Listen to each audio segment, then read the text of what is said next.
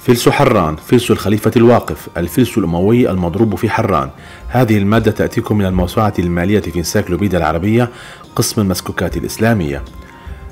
تمثل أفلاس الخليفة الواقف مرحلة مهمة في تطور السكة الأموية حيث بدأت مرحلة التعريب واستبدال عناصر المسكوكات البيزنطية بمأثورات عربية وتصاوير تمثل الخليفة الأموي مع التخلص من بقايا التأثير البيزنطي من الرموز المسيحية مثل الصلبان. وقد مهدت هذه المرحلة إلى المرحلة النهائية في تطور السكة الأموية والتي تكللت بالتعريب الكامل للمسكوكات وإصدار النقد العربي الصرف في سنة 77 هجرية. وظهرت أفلاس الخليفة الواقف في عدد كبير من دور السكة في بلاد الشام ومن أبرز دور السكة التي ظهرت فيها نماذج فلس الخليفة الواقف عمان ودمشق وحلب وحمص والرها وفلسطين وسرمين وقنسرين ومعارة مصرين وتنوخ ومنبج وجرش وبيسان وطبعا حران. تحمل هذه الأفلاس صورة الخليفة الواقف عبد الملك بن مروان ويبدو الخليفة الأموي ممسكا سيفه العربي المستقيم الذي استقر في غمده المعلق بحزامه بوضعية مائلة من اليمين إلى اليسار وقد وضع يده على مقبضه وهو يرتدي ثوبه الطويل ويضع على رأسه غطاء الكوفية. تاريخ الفلس. سكت أفلاس الخليفة الواقف في السنوات القليلة السابقة لمنتصف سبعينات القرن الهجري الأول أي في المرحلة الثانية من تطور النقد الأموي أو ما يعرف بمرحلة التعريب النصي مع بقاء بعض العناصر أو الرموز البيزنطية مثل المونوغرام والتصاوير المحورة.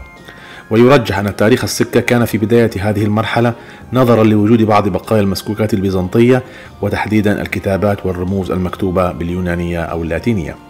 وبحسب التقديرات النمية لظهور أفلاس الخليفة الواقف فإن هذا الفلس ظهر على الأغلب في حوالي سنة 73 هجرية أو ما بعدها. خصائص المسكوكة المعدن البرونز الوزن 3 غرامات و26 جزءا من الغرام القطر 19 ملم السماكة أكثر من مليمتر واحد.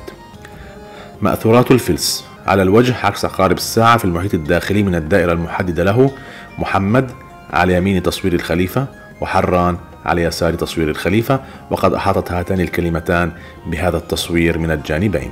على الظهر داخل الدائرة كلمة محمد إلى اليمين من الشكل المدرج وحرفي IS تحت هذا الشكل والعلامة الرمزية المونوغرام إلى اليسار منه و IS هو الرقم اليوناني 16 وتحت الرمز الذي يعلو الدرجات الثلاث ويرجح أنه يشير إلى 16 قيراطا.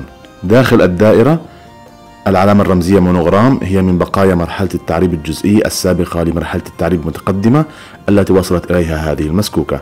وهذا الرمز أقرب إلى ما عرف بالطغراء في المسكوكات العثمانية.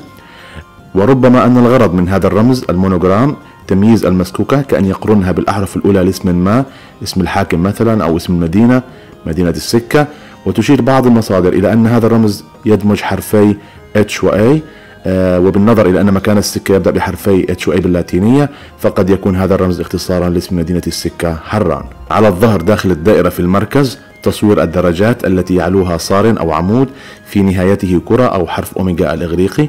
هذا التصوير هو تحوير للتصوير البيزنطي الذي يعلوه الصليب. مكان السكة.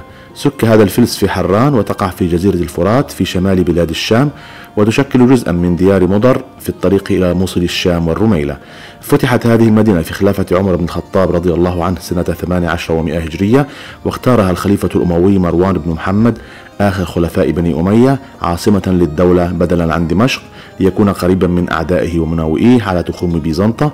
وقد سكت في حران النقود الأموية في مرحلة التعريب الكامل وكانت الأفلاس مغفلة التاريخ أما الدراهم فكانت مؤرخة ومثالها الدرهم الأموي المضروب في حران سنة 80 هجرية.